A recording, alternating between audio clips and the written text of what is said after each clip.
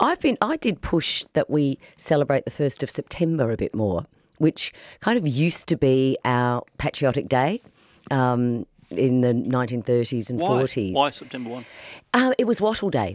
Oh, okay. So you know, it was it was a day that um, well before we kind of celebrated the 26th of January, the kids used to celebrate Wattle Day, and it was it was a day of patriotism, second only to Anzac Day.